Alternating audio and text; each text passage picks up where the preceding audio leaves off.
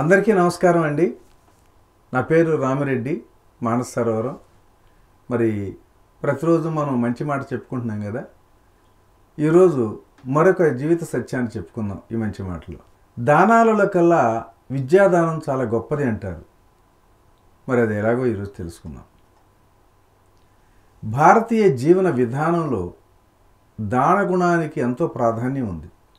చేతికి దానగుణం అలంకారం అన్నారు పెద్దలు. ఇచ్చునది ధనము పాత్రునకు అన్నారు నన్నయ్య. యోగ్యుడికి ఇచ్చిన ధనమే నిజమైన దానమని భావం. ధనానికి ఉన్న ప్రయోజనాల్లో మొదటిగా దానాన్నే పేర్కొంటారు ఎన్నో శాస్త్రాలు కూడా. దానం వలనే సంపాదించిన ధనానికి సార్థక్యం లభిస్తుంది.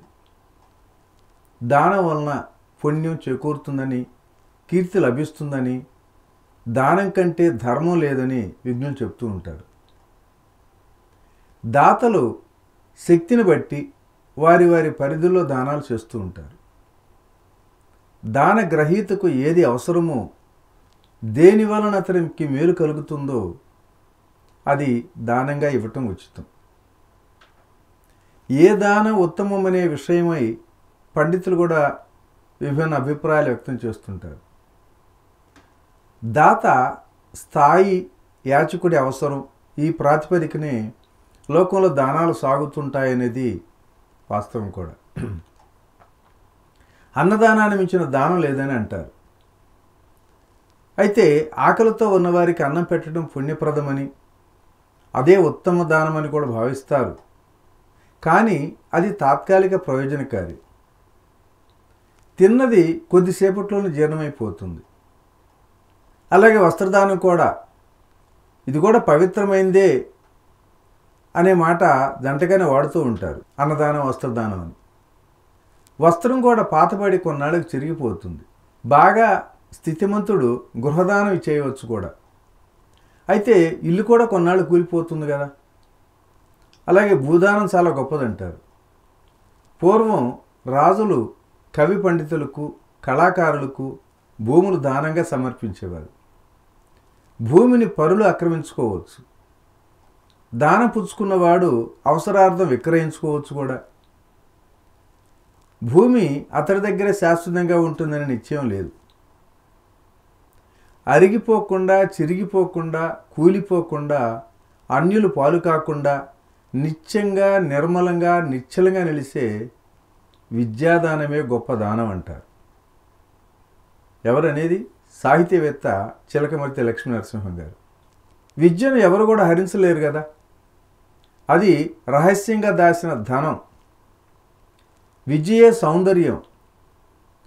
ఆ విద్య యశస్సును భోగాలను కూడా కలిగిస్తుంది. గురువుల అన్నింటినీ బోధిస్తుంది కూడా. పరదేశం వెళ్ళినా ఆప్త బంధువులు తోడ్పడుతుంది. ధనవంతులు నిరంతరం దానాలు చేస్తూ ఉంటే సంపద తరిగిపోయి మరలా దరిద్రులయ్యే ప్రమాదం లేకపోలేదు కోరిన వారందరికీ ఇస్తున్నా తరిగిపోకుండా వృద్ధి చెందుతూనే ఉండేది ఒక విద్యేనండి. మనిషికి యవ్వనం మంచి రూపం కలిమి అధికారం ఉన్నా వాటి వలన అనర్థాలు పడచూపే అవకాశం కూడా ఉందని. ఇవన్నీ ఉన్న విద్య లేకపోతే అందుడితో సమానమని పేర్కొంటారు. హితోపదేశకర్తలు చాలామంది కూడా. విద్య లేనివాడు వింత పశు అని అనాదిగా ఉన్న లోకోక్తి కూడా. విద్యా విహీనుడు మరణించిన వారితో సమానమని పండితుల మాట. ఈ రోజుల్లో విద్యాదానం అనే మాట అసలు వినిపించటంలో పూర్వం గురువులు ప్రతిఫలాపేక్ష లేకుండా యోగ్యులైన శిష్యులకు విద్యాబోధ చేసేవారు. అది విద్యాదానమే.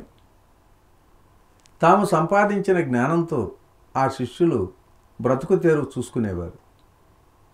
ఒక దీపం మరో దీపాన్ని వెలిగించినట్టు ఒక విద్యావంతుడు ఎంతోమందికి జ్ఞానం అందించగలుగుతూ ఉండేవాడు. అది అవిచ్ఛిన్న జ్ఞాన స్రవంతే.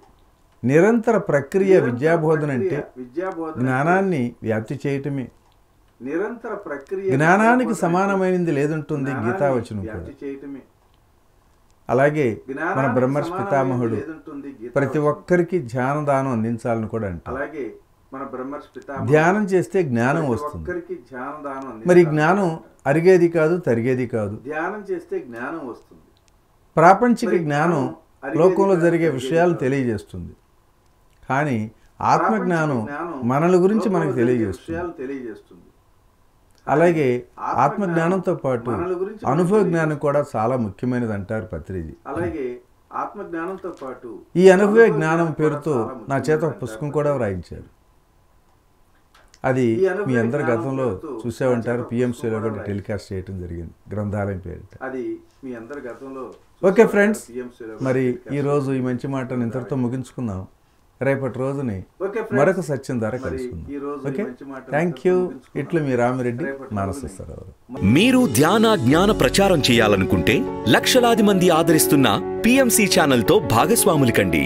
The PMC trust Google Pay PhonePe number eight nine double seven double zero double nine three two.